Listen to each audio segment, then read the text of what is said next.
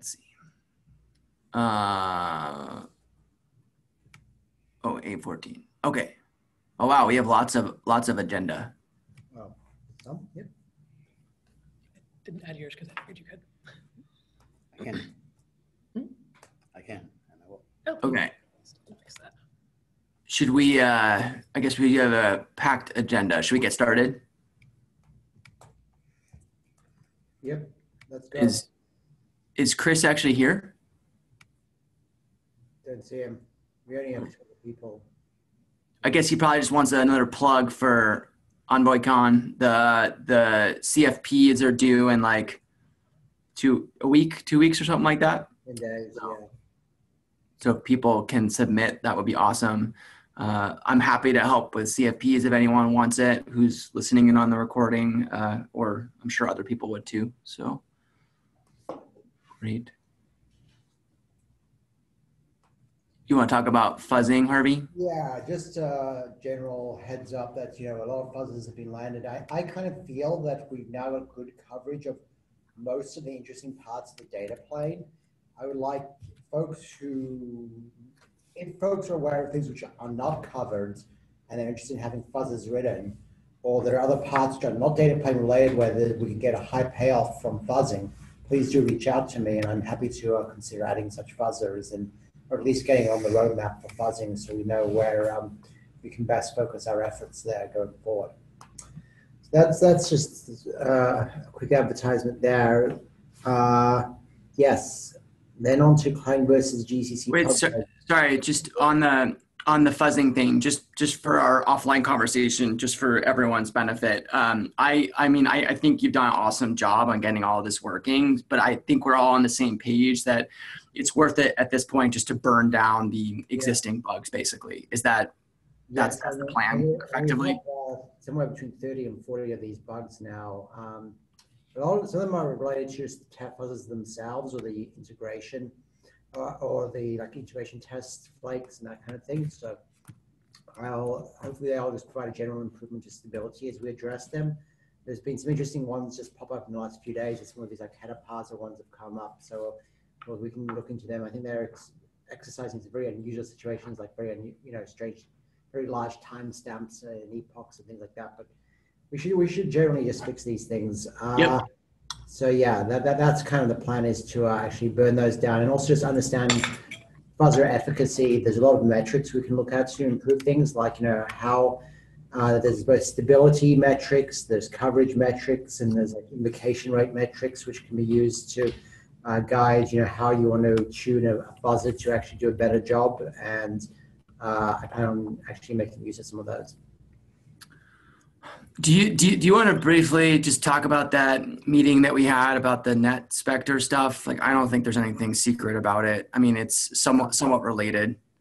Yeah, Google. Uh, we, we, we'll be looking at uh, tooling around uh, support for detecting Spectre gadgets coming uh, in, in the coming weeks. And we have folks at Google who are interested in this and working on in this, in this area.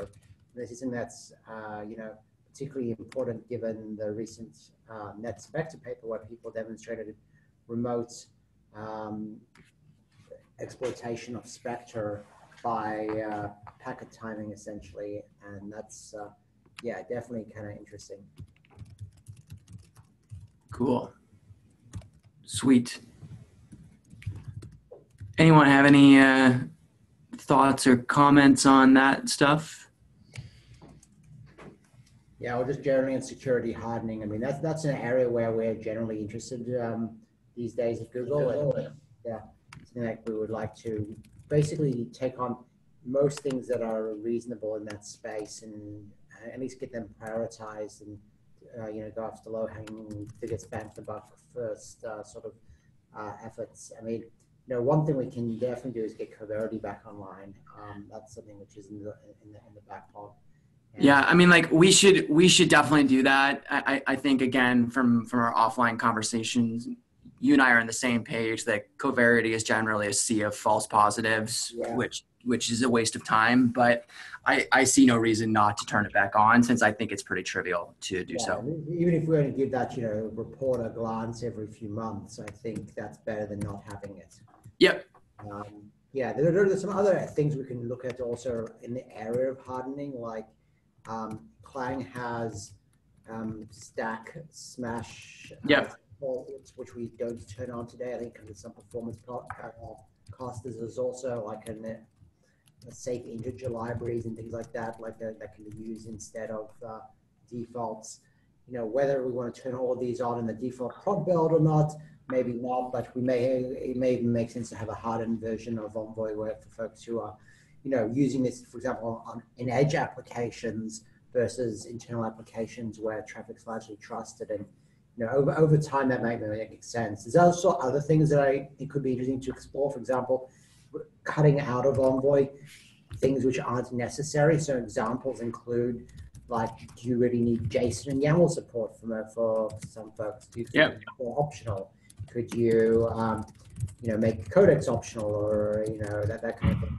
Do you need H1 or H2 support? And most of the actually interesting ones, I think there are places where we can reduce dependencies on third-party software the data plane.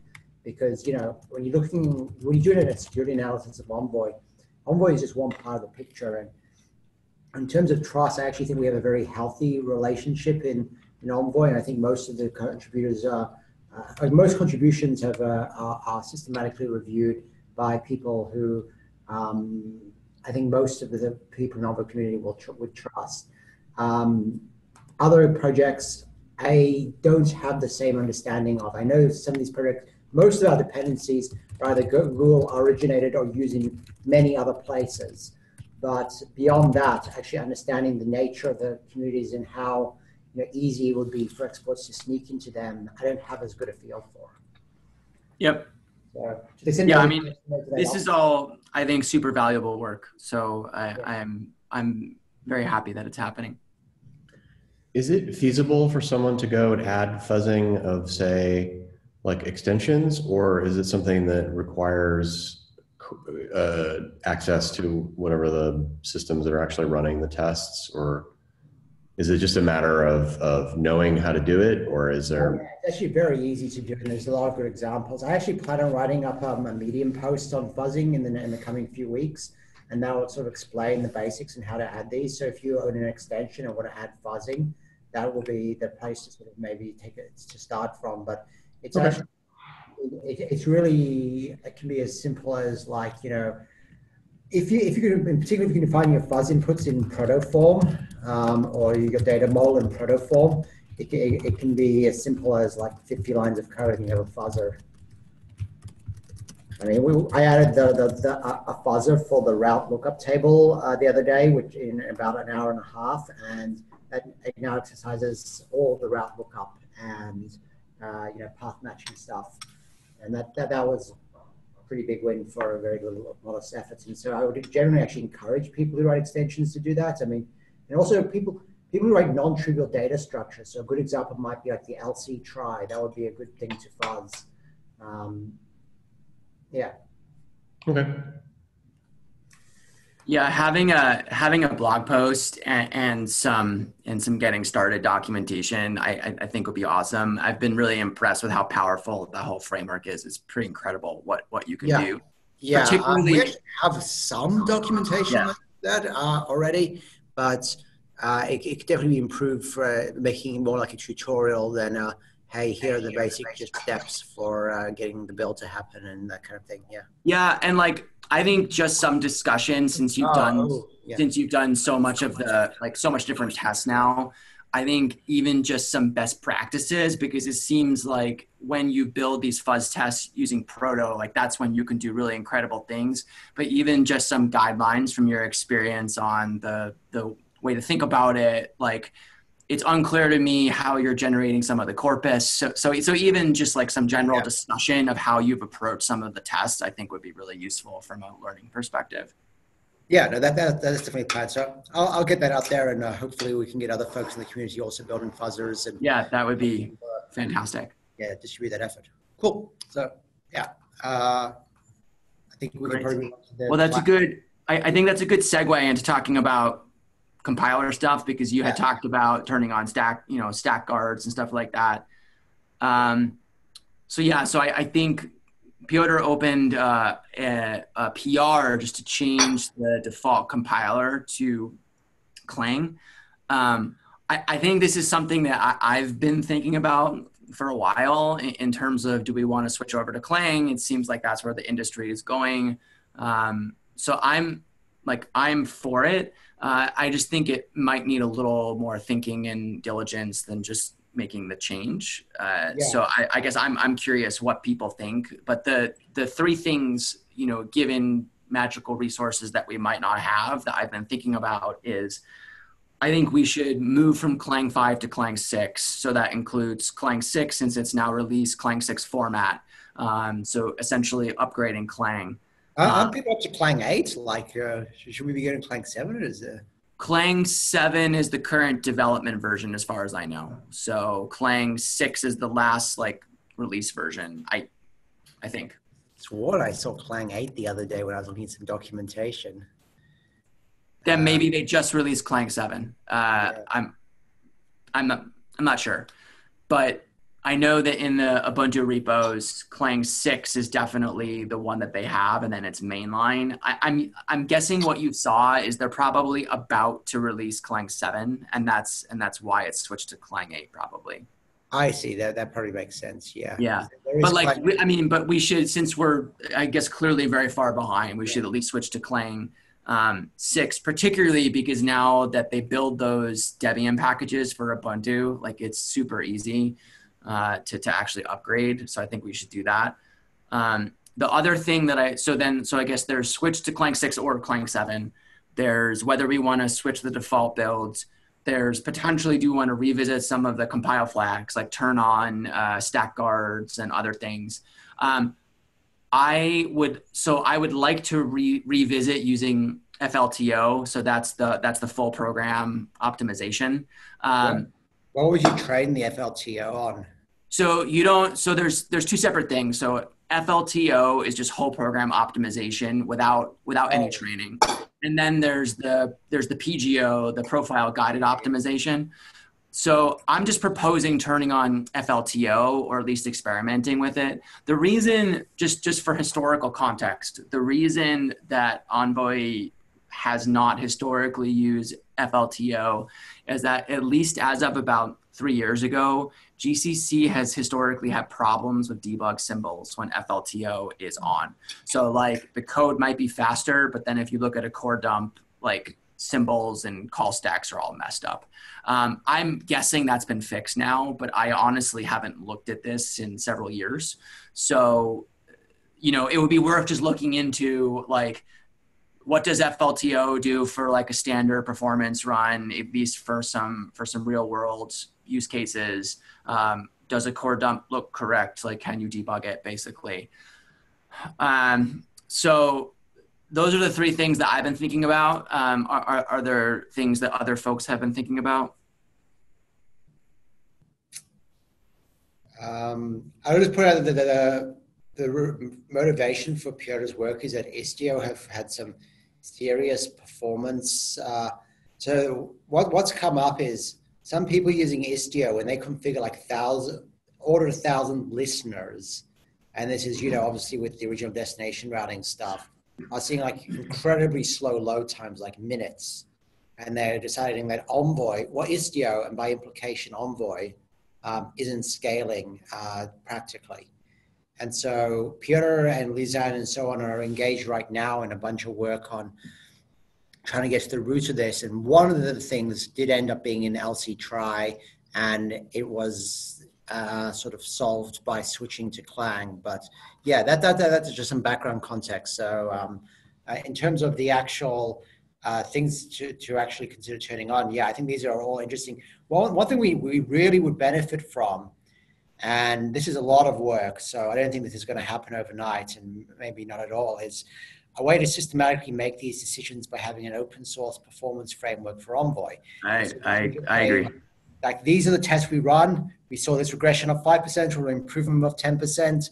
I agree. decision. That's like the rational thing to do. Building that out is a lot of work. yeah and, and and that's something i would i would love to work on and maybe sometime in the future i will do that actually ironically getting getting physical machine resources to do that is actually not a problem because cncf has a test cluster so like we we we have computers and a network that we could use to actually do such a thing obviously building the thing with like how you deploy and like actually monitor and do all those things that's like a multi-month effort Yeah, Um, stable, low variance benchmark, it- it- representative of what the community cares about. Like this is a, Yeah. uh, a lot of work. Right.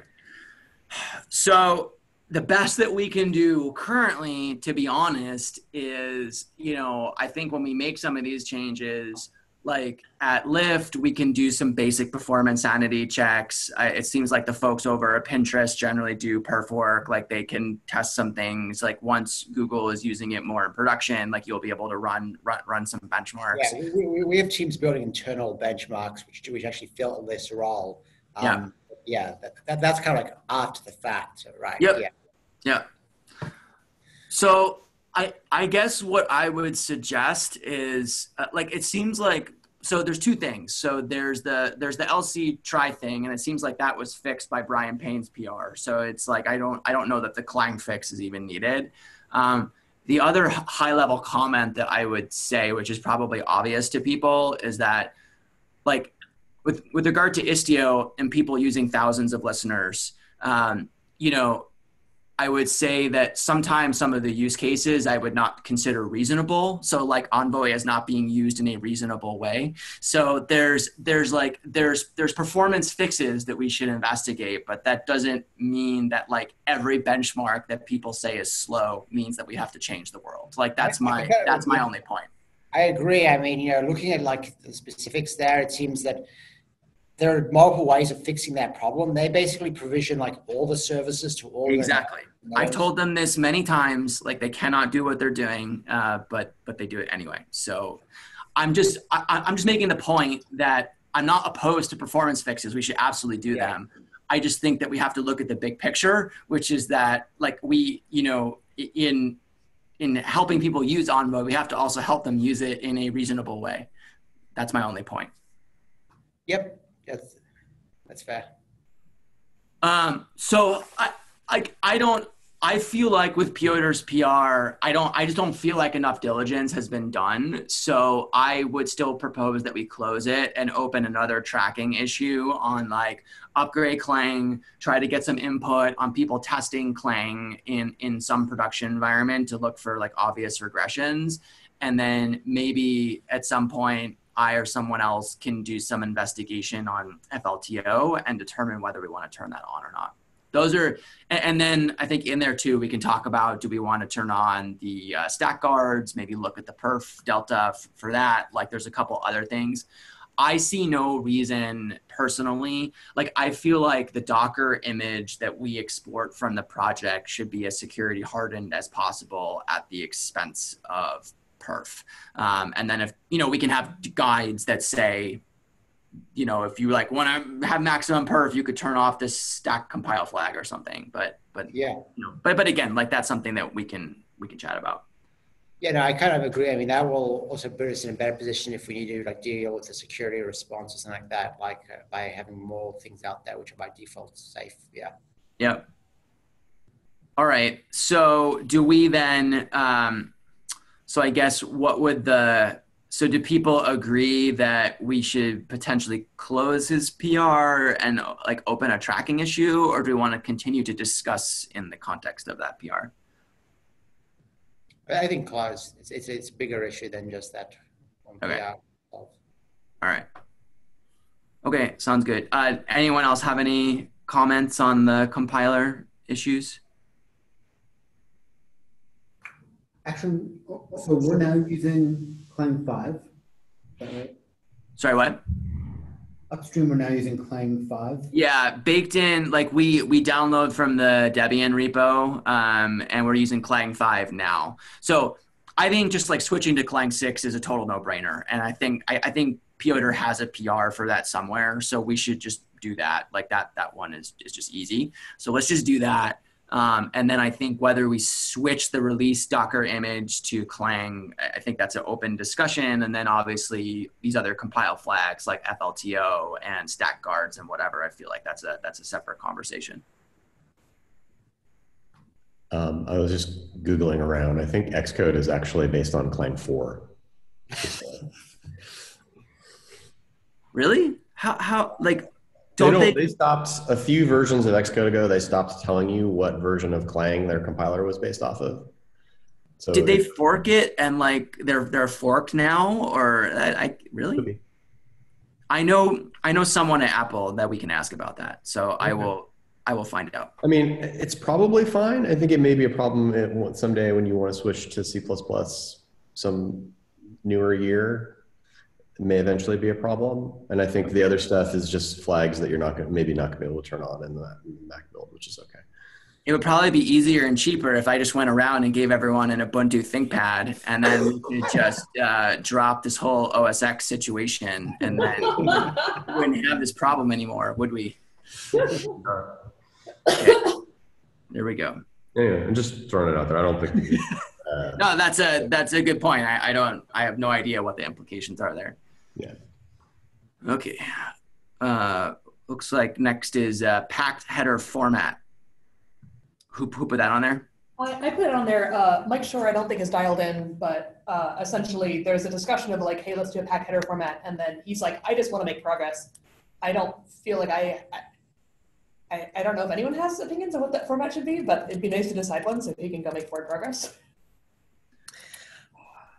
I mean, it seems like for better or worse that we've already decided on things. Like for the XFCC header, we're doing I think semicolon delimited.